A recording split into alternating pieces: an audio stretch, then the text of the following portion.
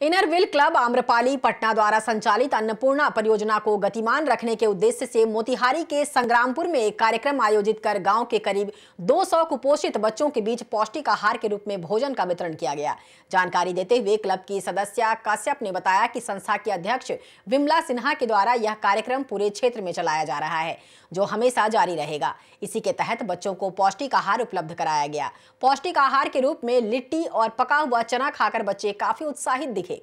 नूतन कश्यप ने बताया कि इस क्लब का मुख्य उद्देश्य है कि पूरे राज्य में ग्रामीण क्षेत्रों के बच्चों के बीच हमेशा कैंप आयोजित कर बच्चों को पौष्टिक भोजन कराना है ताकि बच्चे कुपोषण के शिकार ना हो सके।